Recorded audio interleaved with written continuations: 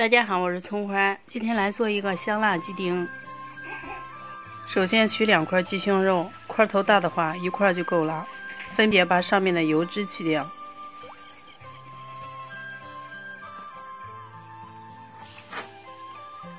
再切成一厘米左右的长条，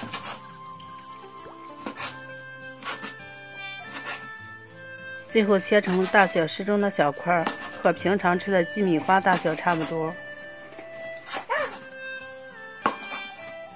切好之后放入碗中，倒入适量的料酒，三克左右的盐，两克的白胡椒粉，打入一个鸡蛋，加入二十克左右的土豆淀粉。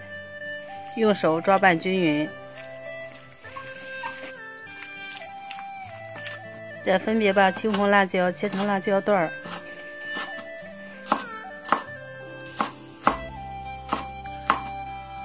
再剁一些姜蒜末备用。接着再调一个汤汁，碗中加入两克白糖，倒入五克的生抽，三克老抽，再加入三克蚝油。入三十克的清水，再倒入三克的淀粉，搅拌均匀备用。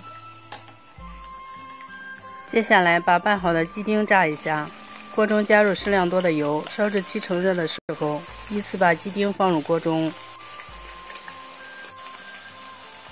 中间要不停的翻动。鸡丁炸至微黄，捞出来装入盘中。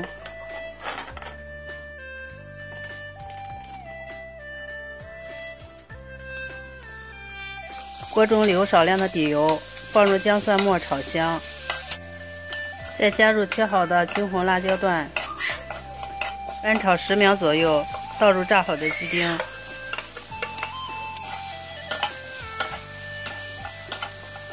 翻炒均匀之后，把提前调好的汤汁倒进去，最后大火翻炒均匀就可以出锅了。一道香辣鸡丁就做好了，这样炒出来的鸡丁口感滑嫩，香辣下饭。今天的视频就跟大家分享到这里，我是葱花，喜欢记得关注我哦，咱们下期再见。